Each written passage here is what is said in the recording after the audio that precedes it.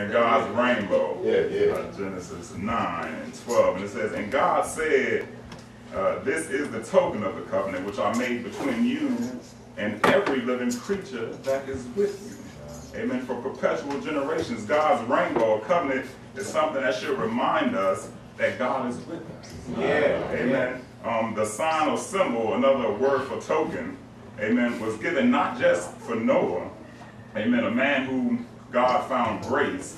Uh, it wasn't just for his family, amen, but he said it's for all in the earth, amen. And what I love about this, what God was revealing to us, is that as he showed himself mightily in dealing with the sins of the world, amen, because he, sin can only last for so long before it reaches God and it has to be dealt with. Amen. But then in, in this covenant, he is showing us mercy. Amen. He said, I'm giving you life. Amen. He said, and when you look up, I don't care how, how, how, how the storms rage. I don't care how much the winds blow. Amen. It's not going to end in the flood. Amen. It's not going to end in the flood. So when these things happen, I don't want you to worry. Amen. When you look up, you're going to see my rainbow. That's to let you know that I'm thinking about you. And my mercy is with you. Amen. And my color purple, amen, is, is, is a sign of royalty. Amen. It's a sign of, of, of kingship. Amen. And we see that when we think about our Lord and Savior Jesus Christ.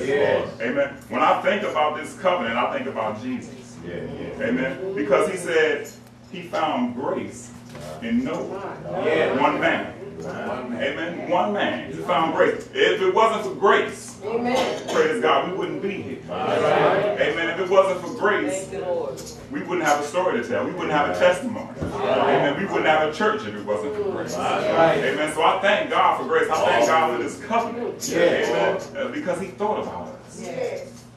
Amen. He says for perpetual generations.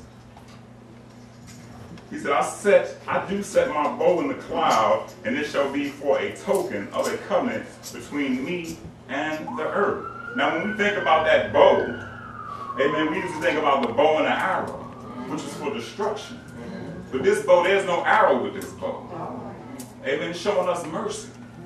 Praise God. This is not a weapon of war. Praise God. So when you see this bow, you don't have to worry. Amen. When, you, when, the, when the storms come, you don't have to worry. I'm going to give you my bow, amen, and show you peace. I'm not going to show you a weapon of destruction. Mm-hmm. Praise God. God looking out for us. Amen. And I thank God for, for his, his mercy. Amen. And he tells us in his word, my mercy endureth forever. Forever. Forever. 136, he goes on, and my mercy endureth forever. And my mercy endureth forever. Praise God. Thank God for mercy. Hallelujah.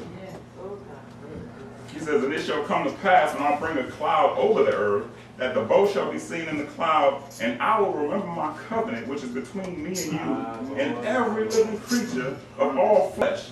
He said, And the waters shall no more become a flood to destroy all flesh. God explaining to us, I don't care how bad it gets. It's gonna pass. Yeah, yeah. Amen. When the when the when the winds and the storm and the storms blow, it's gonna come to pass. Amen. Don't worry about it. When when when, when Peter asked him to come and walk on the water, Amen. He said, "Come," and he stepped out on his word. Amen.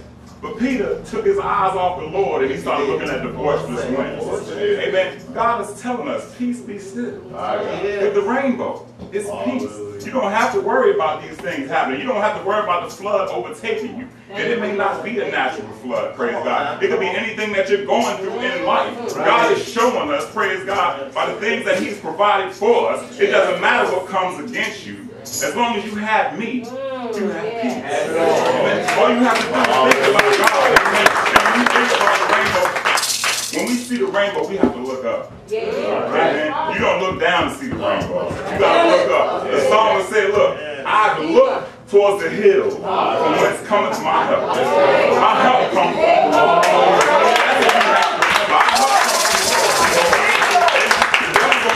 things our way. That's right. But we have to continue to looking up to the Lord. That's right. That's where our help comes from. Amen. My color purple. Hallelujah. Amen. Oh, thank you. Thank you, Lord. It, it, it, it shows the beauty of the Lord. Amen. Uh, we see color in many different things. Amen. And, and, and as an artist myself, I I love the vibrant colors of the rainbow. All right. Amen. And, and I realized something, uh, just looking at the things that God created, there's no better artist than God. My God, my The way he laid it out. Yes. Amen. That's I think about when he told Job, he said, Where were you? Yeah. Stretched out Oh, foundations my, of my, my, Where were you? Hallelujah. My God, my God. The color purple represents royalty, majesty, amen, kingdom authority, dominion, sonship, inheritance, as well as the priesthood. Amen. It was uh, one of the colors used in the veil. Amen. As Brother Todd went over, separating the holy from the most holy. Amen. And as uh, sons of God, his royal priesthood. Amen. It doesn't matter what we go through. We should let our royalty show. Amen. Stand up, even if you don't have on a coat. You walk like you royalty. That's right.